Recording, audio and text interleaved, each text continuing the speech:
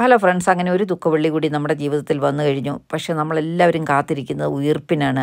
ഈ ജീവിതത്തിൽ എന്തൊക്കെ പ്രശ്നങ്ങൾ വന്നാലും നമ്മൾ പറയും ഇതൊക്കെ കഴിഞ്ഞ് ഒരു സന്തോഷം വരുമെന്നല്ലേ ഒരു ദുഃഖവെള്ളിക്ക് ഒരു ഉയർപ്പുണ്ട്. അത് തീർച്ചയാണ്. ഒരു കുന്നിനൊരു കുഴിയുണ്ട്. നോക്കിക്കേ ഒഴിഞ്ഞ സക്ര അരിയും കുരിശും നമ്മുടെ ജീവിതത്തിലും സമൂഹത്തിലും കുടുംബത്തിലും ഒക്കെ വരാറുണ്ടല്ലേ ഒത്തിരിയേറെ പ്രശ്നങ്ങൾ വരുമ്പോൾ നമ്മൾ പറയാറില്ലേ എല്ലാം കഴിയും.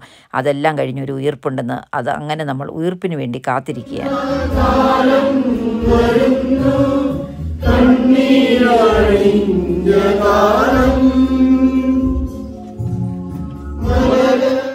എല്ലാ കണ്ണീരും നമുക്ക് സന്തോഷമായി മാറും. അതിനുവേണ്ടി നമുക്ക് കാത്തിരിക്കാം പ്രാർത്ഥിക്കാം.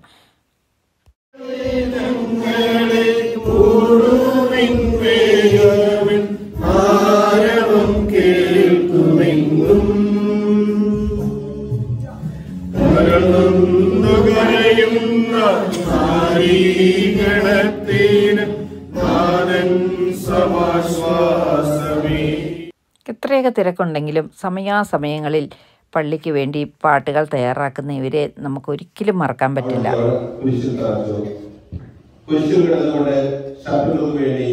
പ്രാർത്ഥിക്കുന്നു. നല്ല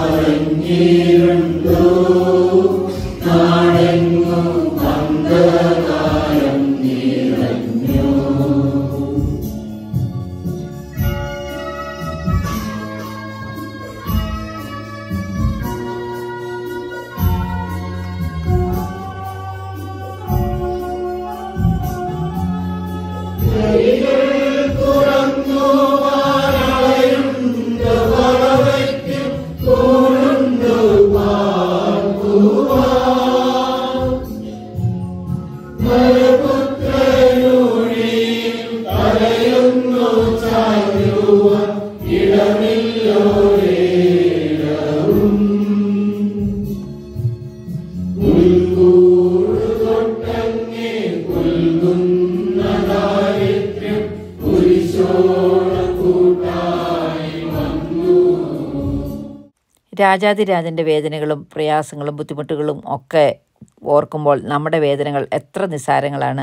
ജീവിതത്തിലെ എല്ലാ ബുദ്ധിമുട്ടുകളും പ്രയാസങ്ങളും നമുക്ക് ആ കുരിശിലേക്ക് കൊടുക്കാം. വൈദികൻ താണു വീണ് ഭൂമിയോളം താന്ന് കുർബാനയ്ക്കായിട്ട് ഒരുങ്ങുകയാണ്